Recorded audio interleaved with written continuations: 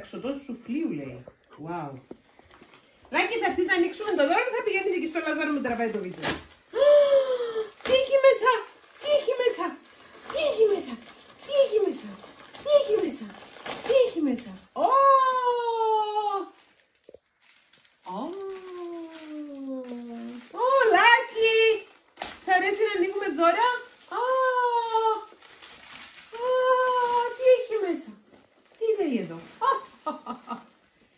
Discovering Central Evros Region. Α, από το, σ- από το σούφλιο μας το ακούσατε. Από το σου- σούφλιο.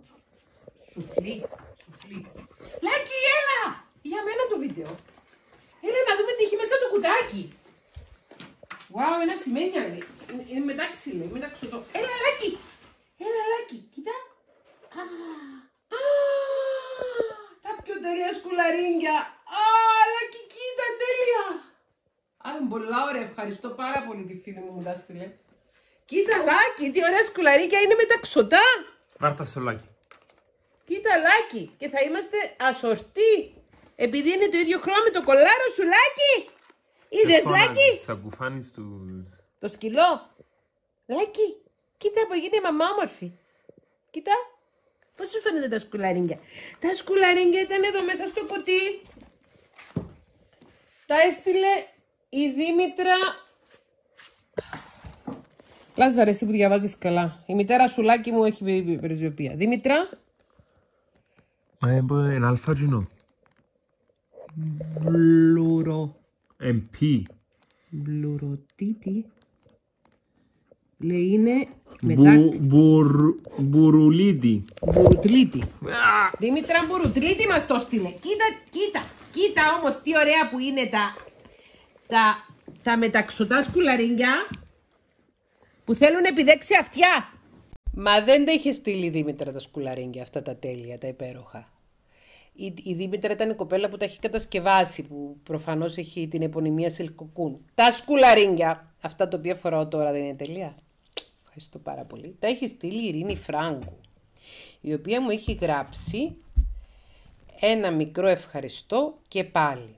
Όλοι στο λένε, μου λέει η Δήμητρα, αλλά είναι γεγονός και ίσως δεν το καταλαβαίνεις πόσο μας επηρεάζει και πόσο μας βοηθά αυτό που μας προσφέρει στην αγάπη μου. Στέλνω και εγώ την αγάπη μου πίσω και παίρνω την ευκαιρία με αυτό που γράφει η Ειρήνη να σας πω το εξής ακόλουθο. Δεν είναι όλες οι μέρες εύκολες.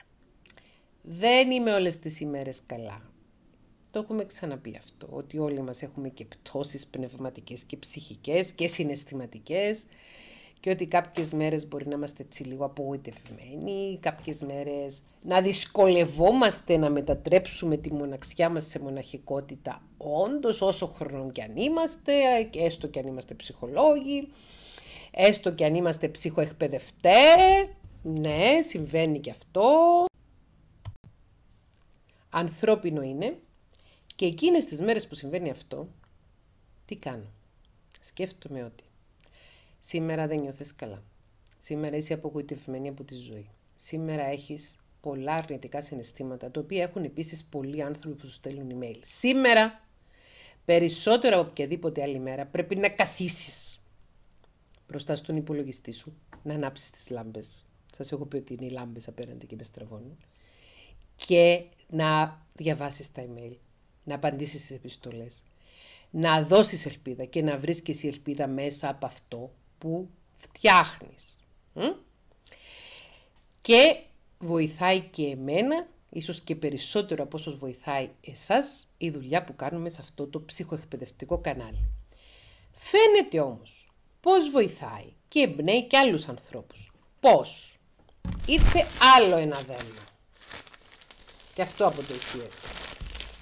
Άμα θα μου στείλετε ξα... και εσείς κάτι από το ECS, επειδή ήρθε και ένα άλλο, το οποίο θα το ανοίξω σε ξεχωριστό βίντεο, ρωτήστε με όταν θα το στείλετε με το ECS, να σας πω πώς να το στείλετε. Πού να πέστε που θα το στείλω με το ECS, να σας πω ποιο είναι το κοντινότερο ACS στην περιοχή μας, που είναι αυτό των εργατών.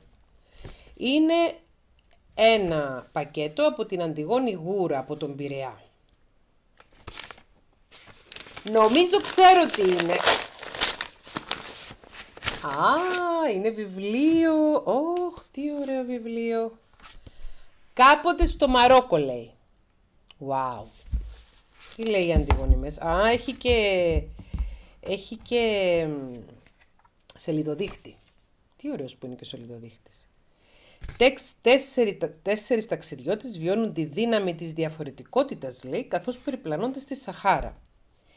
Και το αφιερώνει σε μένα, η Αντιγόνη, στα όνειρα και την αγάπη τα πάντα είναι δυνατά.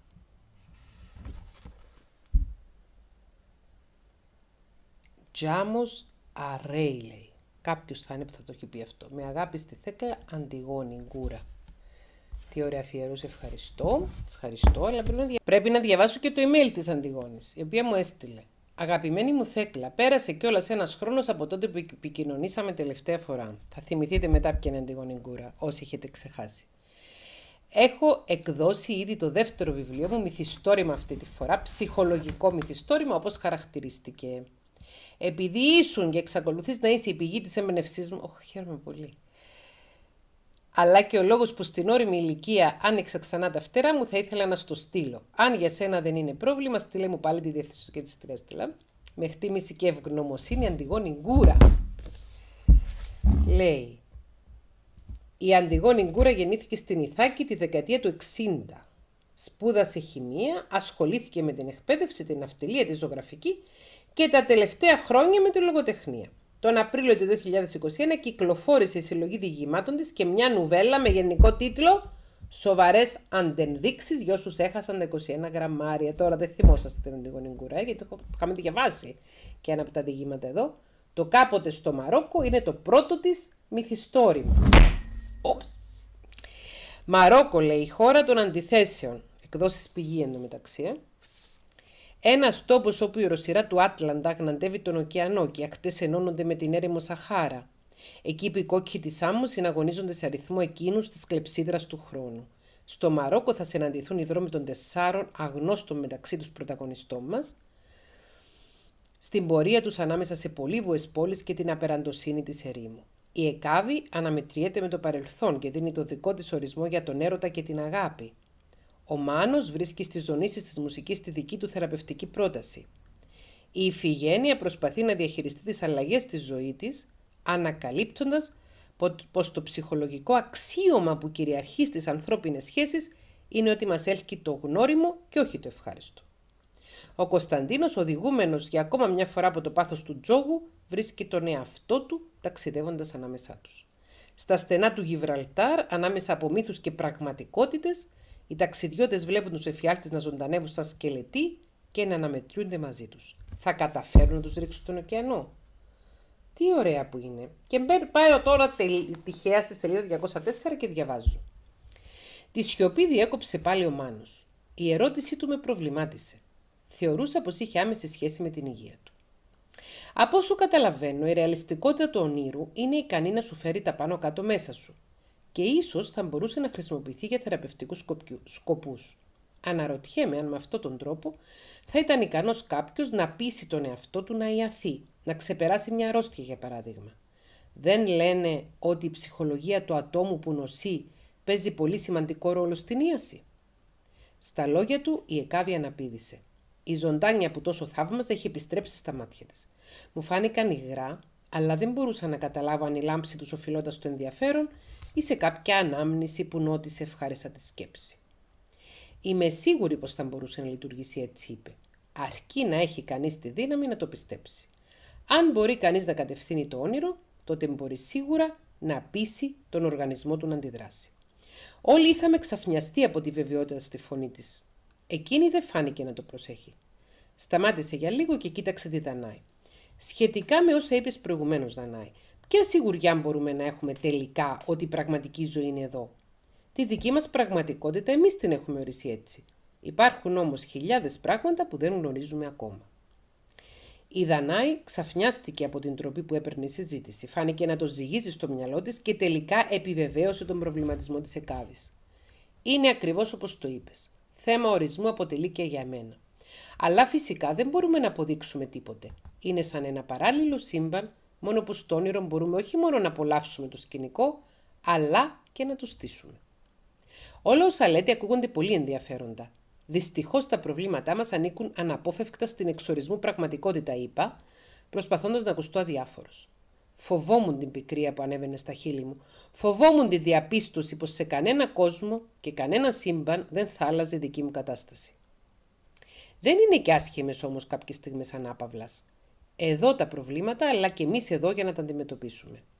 Όταν η ψυχή είναι ευχαριστημένη, μπορεί να δει τα πράγματα από άλλη οπτική γωνία, είπε η φωνή της λογικής ο Μάνος, δίνοντας πάλι το ρυθμό της αισιοδοξία στην παρέα. Πολύ ενδιαφέρον Αντιγόνη μου ακούγεται και μπαίνει στη λίστα με τα βιβλία που θα διαβαστούν. Ευχαριστώ πάρα πολύ την Αντιγόνη Γκούρα για το βιβλίο της κάποτε στο Μαρόκο που μου έστειλε. Ευχαριστώ πάρα πολύ και την Ειρήνη Φράγκου και για τα σκουλαρίνγκια και σας αγαπώ!